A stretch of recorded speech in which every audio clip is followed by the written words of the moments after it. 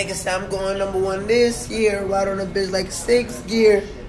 Yo, I'm really the hottest artist in the fucking America right now. Three days, 36 million views. Number one Apple. Number one everywhere. Everywhere. We number one. It's fucking Treyway. And I'm glad I did it at this time. I'm so happy. Shout out to Nicki. Shout out to Murda. I'm so happy I did this this time because I gave my time. I gave I gave me so much time to release straight singles. Gummo by myself. Kooda by myself.